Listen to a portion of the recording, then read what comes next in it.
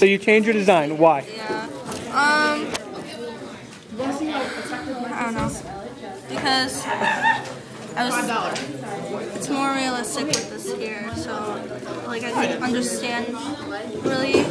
And the three legs have been a problem since the start, but now it's even more. So I figured this would have less surface area this way, so width-wise it would be less, so it'd be more likely not to fall. Okay, thanks. And then